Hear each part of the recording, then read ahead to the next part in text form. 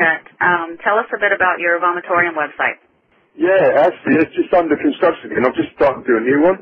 Basically what it is, I take photographs of models um, in weird, weird positions, basically. and um, I take, and then I photo manipulate them into like quite sick images. Well, I've been told they're sick. I think they're quite nice actually, personally, but I can't see the disgusting side of it. But um, yeah, so, so no, no, I do that. Use Photoshop for it and uh, basically sell my prints. You know, the website should be up and running within a couple of weeks again.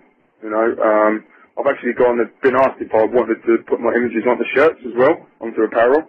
Yeah. So I'm actually toying with the idea about doing that as well, and um, hopefully they'll be hitting retail. Oh, that would be awesome. Yeah, I know. It's, just, it's good. I've had a lot of uh, lot of interest for that, which I was quite surprised about. Ever since I've relaunched it, I've started doing um, some like even like quite stranger pictures, and uh, yeah, people have say, oh, this is really amazing. You want, I'll definitely buy shirts for everyone shirts. I was like, I've had quite a few people say that to me. So I've Yeah, started I'm sure they would. I'm sure they would definitely sell really well. Yeah, hopefully. You know, I've, I've started targeting, um, asking like merch companies as, and see what they've got to offer and how about it and stuff as well. Because I used, because I design the cradle stuff anyhow. So I've been like doing merch for Christ years. Right. Good. Now, what what can you tell us about Cradle's next project, Midnight in the Labyrinth? Um, yeah, the instrumental album. It's basically songs off the first four albums, but just as orchestral pieces. Um, there's no guitars, no drums, no nothing. There's a little bit of narration, but yeah, it's just it sounds like a film score. You know, so we've got that coming out, but we're in two minds whether we're going to release it as an album on its own or package it up with the DVD that's coming out. So there's a live DVD with like backstage and all that stuff, the usual stuff, but it will come with the live album as well, and possibly call the DVD Midnight Labyrinth. I'm not too sure yet. I'm not too sure how we're going to play it, but um, that's an idea. Right. Now, I always like to ask this question. I know, I know that I've heard you say that you try not to listen uh, to bands that are too similar to Cradle, but who are you personally listening to these days? Um, good question. I'm not actually listening to anyone, to be honest. Yeah. um, I don't know. I listen to some of the black metal stuff I'm into. I'm not really a huge black metal fan as such, not the real like fast stuff. Um, but it's like I don't know. I like um, Carpathian Forest. You know. Um, who else have we got? I don't know really. I listen to. I mean, I'm I'm still like a bit of a old thrash head, you know. Like I listen to Kreator and stuff like that still. Right. Um, sort of like Megadeth and early Metallica and stuff.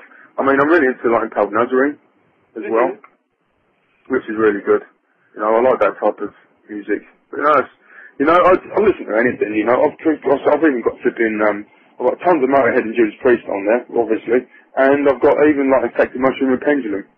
So, um, Right. my my uh, tastes go from pretty extreme like metal right the way up to like three piece jazz outfits. So Yeah.